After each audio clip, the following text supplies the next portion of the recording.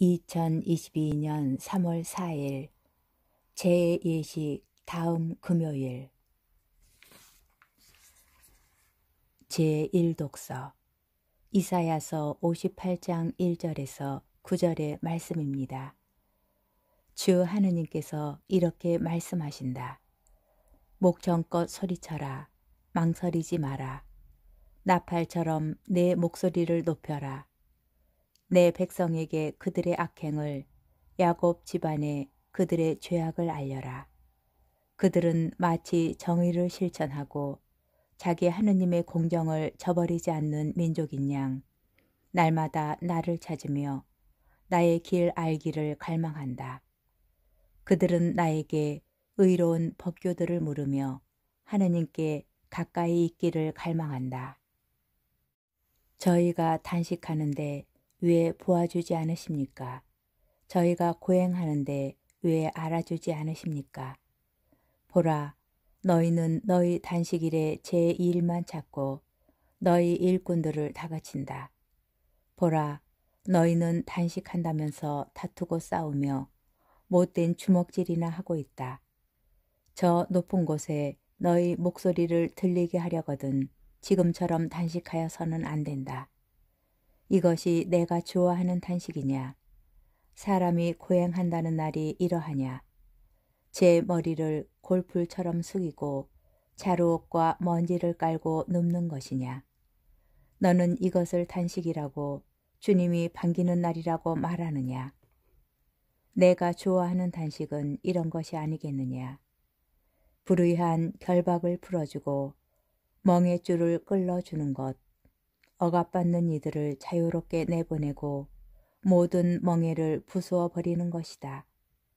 내 양식을 굶주린 이와 함께 나누고 가련하게 떠도는 이들을 내 집에 맞아들이는 것, 헐벗은 사람을 보면 덮어주고 내 혈육을 피하여 숨지 않는 것이 아니겠느냐. 그리하면 너의 빛이 새벽빛처럼 터져 나오고 너의 상처가 곧바로 아물리라. 너의 의로움이 내 앞에 서서 가고 주님의 영광이 내 뒤를 지켜주리라. 그때 내가 부르면 주님께서 대답해 주시고 내가 부르짖으면 나 여기 있다 하고 말씀해 주시리라. 주님의 말씀입니다.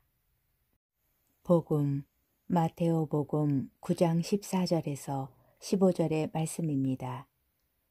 그때 요한의 제자들이 예수님께 와서 저희와 바리사이들은 단식을 하는데 스승님의 제자들은 어찌하여 단식하지 않습니까? 하고 물었다. 예수님께서 그들에게 이르셨다. 혼인잔치 손님들이 신랑과 함께 있는 동안에 슬퍼할 수야 없지 않느냐. 그러나 그들이 신랑을 빼앗길 날이 올 것이다. 그러면 그들도 단식할 것이다. 주님의 말씀입니다. 오늘의 묵상 마테오 복음 8, 9장은 10가지 기적 이야기를 모아 전합니다. 카파르나움에서 일어난 두 가지 다른 기적 사건들 사이에 마테오 복음 9장 9절에서 17절이 삽입되었습니다. 여기에서 마테오를 부르시고 세리들과 죄인들과 함께 식사하시는 예수님을 만날 수 있습니다. 이 일은 세례자 요한의 질문을 유발합니다. 세례자 요한의 제자들은 율법 학자들과 바리사이들이 그러하였듯이 예수님의 행동에 반감을 드러내고 있습니다. 그들은 예수님의 제자들이 단식을 하지 않는 이유가 궁금하였습니다.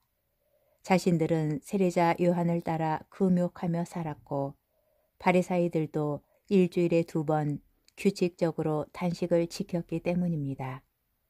여기서 단식은 개인의 신심 증진을 위하여 행하는 사적 단, 단식을 의미합니다. 예수님께서는 세례자 요한의 제자들이 던진 질문에 혼인잔치를 비유로 들어 대답하십니다. 혼인잔치는 천상의 삶에 대한 기쁨의 이미지를 제공합니다.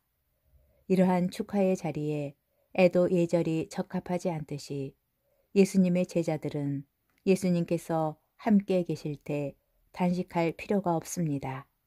그러나 신랑을 빼앗기게 될 때 곧 예수님께서 죽음을 맞게 되시면 그들은 단식할 것입니다.